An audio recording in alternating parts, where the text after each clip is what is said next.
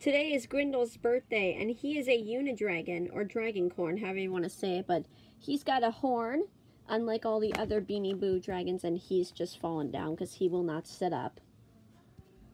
But he's got some very cool colors of red, gold, and black, which I think go so well together. And he's got golden eyes. He's got a gold tummy, just like Sapphire the Dragon, but it's a different material, it seems like. Looks like it's not as glossy as Sapphire's tummy, but it's okay. You can still see like a mirror effect, but not as good as with Sapphire's belly, but that's okay. And I got them from Toys R Us.